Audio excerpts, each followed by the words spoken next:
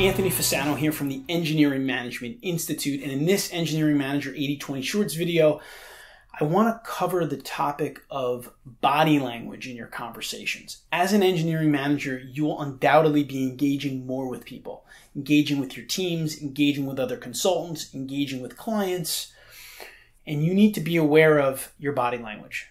So, what I mean by that is talking and speaking is only one part of a conversation, listening is another part of the conversation, but how you carry your body is another part. So, a couple of quick tips here.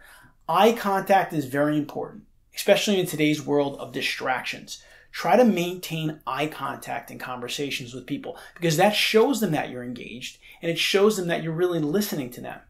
And without that, the quality of your conversation can decrease tremendously. If you're staring at your phone, if you're looking into space, you're not making that eye contact.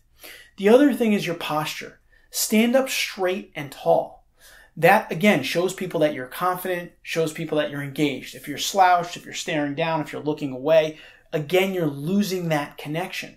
And that's something that is, you know, really, really important. And the other body language kind of strategy that you can think about using is gestures. You can point to something. You can use your hands to describe a project. That engages people as opposed to just standing there and talking with them. Animation right? We're engineers. We build things, we design things. So show them that in your conversations. So I hope those tips are important. I just want you to be aware that as an engineering manager, you need to engage with people. The more engagement you can get with people, the better results you're going to get on your projects and in your career overall. I hope you enjoyed this video. Please leave comments or questions. We love getting them. We love responding to them and they've been great. And please consider subscribing to our channel to get these weekly career tips and advice. Until next time, I hope that we can continue to help you engineer your own success.